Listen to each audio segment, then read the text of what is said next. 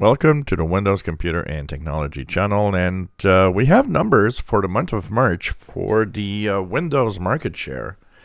Uh, according to Steam, and Steam, of course, is a uh, gaming platform, and what they do is they randomly select a certain number of um, users and check what operating systems they're running.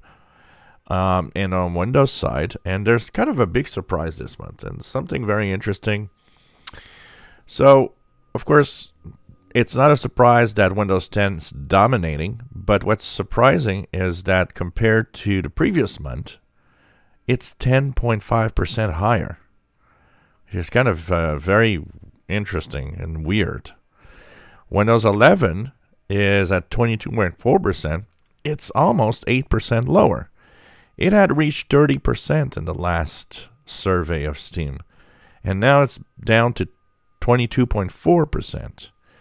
So this is kind of interesting. And if you look at Windows 7, Windows 8.1, that all lost a little bit. There's no logical explanation for such a drastic change. So is it that the random survey was just by chance surveying more Windows 10 machines? It's very weird.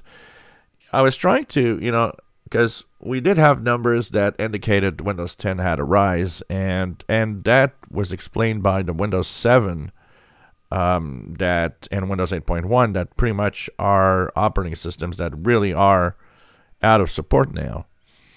Windows 7 had its extended support that was three years for business ended in January, and Windows 8.1 ended in January, so there was a readjustment. People were moving on.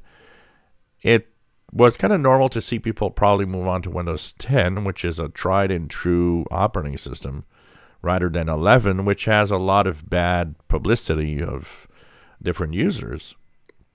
But there's no clear explanation for such a big change that we're having here. And the fact also that that change is for the month of March. We are now, you know, March and January is like, you know, two months, two months later you're getting that big drastic change. So it's very bizarre and kind of not really easy to explain why these numbers have changed drastically. Um, so this is um, kind of interesting. We're going to look at the same numbers, but we're going to go to um, another um, another provider for the numbers in the next video.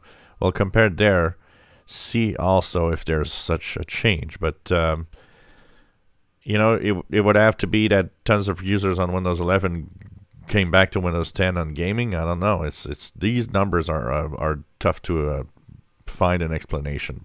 You know, I don't know if it's the randomized check that maybe isn't correct or you know we're going to have to see next month what's what's the number next month and how all of that is going to actually uh, work out because um, there's too much of a change here to explain this month right now. If you enjoy my videos please subscribe give us thumbs up. Thank you for watching